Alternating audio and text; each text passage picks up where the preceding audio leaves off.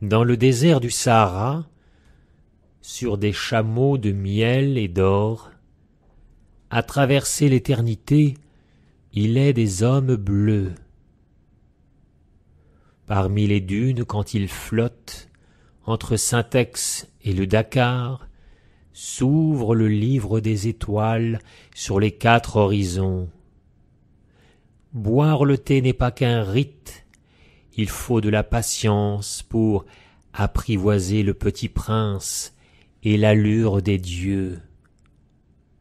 Dans le désert du Sahara, les hommes bleus nous éclaboussent.